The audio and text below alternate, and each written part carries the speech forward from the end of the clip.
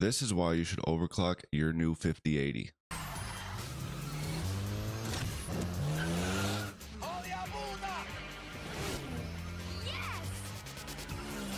Last night, I was playing a game with my buddy. We were playing Call of Duty Warzone. We did a test on the big map and on uh, Rebirth Island. But basically, he did overclock his uh his 5080. He's got the Astral version. Basically, he said he went to uh, JayzTwoCents video. I, I'm pretty sure that's whose like actual overclock he used. So definitely go check out JayzTwoCents overclock video on the 5080. But basically, we were uh, playing, like I said, Warzone. We tried both maps out, the big map and the small map. I think the big map, I was getting about 20 FPS more than him or so, and that's with his overclock. But on Rebirth Island, because obviously maps are different, they're optimized differently, stuff like that. But on Rebirth Island, on uh, the 4K settings that I was running at, my average after a full match was uh 232 and his was i believe it was uh 223 or something. That's only a 9 fps difference considering the fact that it's a 5080 and it's a 4090 i know the you know previous generations the uh the 80 series has always beaten the flagship. This year it's obviously different right? We all know that if you could get your 50 80, a handful of percentage to the 40 90, I think it's well worth it. I'm not talking about going crazy overclocking in your BIOS or nothing like that. This is literally just using MSI Afterburner, sliding a couple uh, sliders. You know what I mean? Nothing crazy. Uh, shout out to my guy Average Larry GG. He will be posting a video about his experience with the overclock as well. I'm just gonna go show you some charts from uh, JayzTwoCents right here. Uh, Avatar, Frontiers of Pandora. Okay, we got 4K high preset. And as you can see, this is the overclocked one that's highlighted, well, somewhat highlighted. But the average is 78. And then the Founders Edition not overclocked is 70. So that's an 8 FPS uh, uplift just on this game alone. Now, is it a crazy uplift? No. But if you guys want to get the most out of what you guys paid for, then a slight overclock might help it. Now, if you have a 4090, this is not overclocked. Like, so this is comparing it to a, a non overclocked 4090. I'm not telling you to overclock your 4090. It probably does what it needs to do anyway. I'm not overclocking this one. I don't really see a reason for me to. But uh, but again, this is a 4K. I'll hit play here. We'll go over to the 1440p. That's a 8 uh, FPS difference right there. At 1440p, we're getting a 10 FPS difference. Now it is going from 130 to 140 compared to what we were back there, but again, 10 FPS difference. This could be the difference in uh, maxing out your monitor or not. You never know. It's pretty solid, uh, pretty solid uplift for just just doing a, doing a couple sliders on MSI Afterburner. So again, if you guys are one of the uh, 500, 600 people, I don't even know how what the actual tally was on the 5080s. It's probably more than that.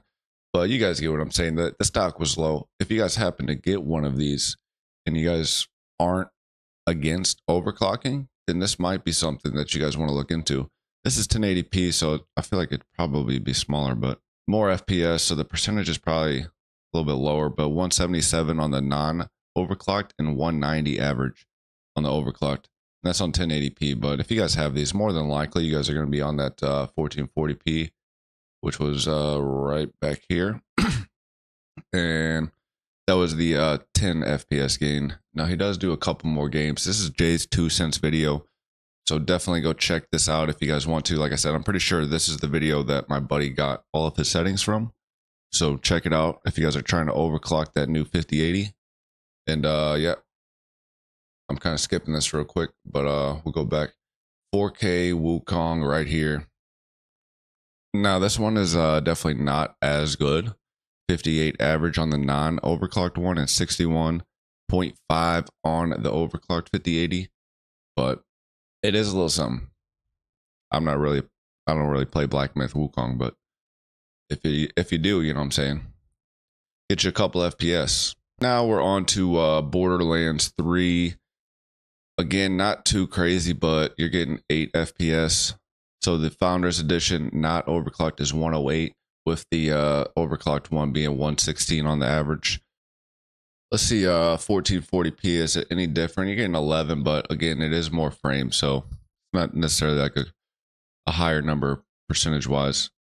Um, 188 over 197 for the overclocked one. Nothing too crazy, but like I said, 9 FPS gain right there at 1440p.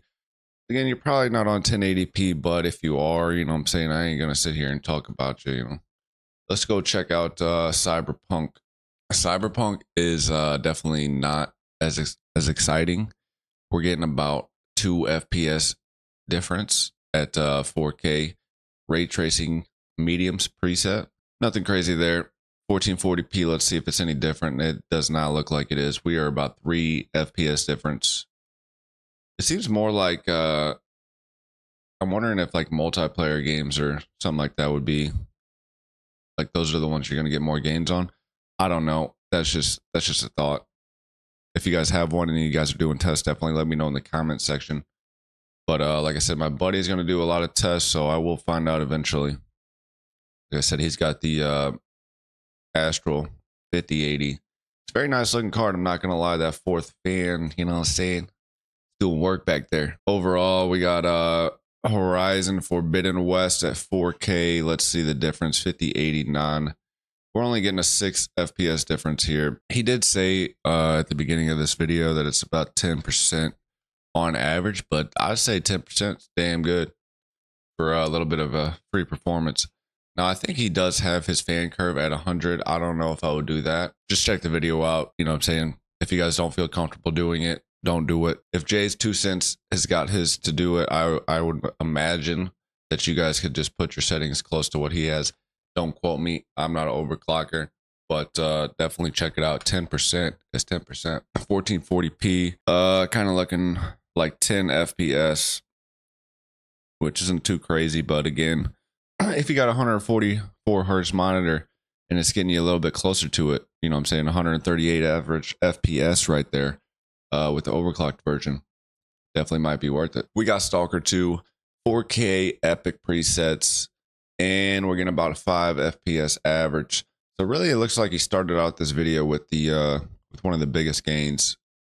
But again, if you guys are playing Call of Duty, I was literally right next to a buddy side by side and the headsets talking. Obviously, uh, we didn't stay together the whole exact time because we did finish the whole game. But again, him only getting like 10 FPS on average less than me on Rebirth Island. It's pretty good, uh, pretty good little overclock. I'm not gonna lie.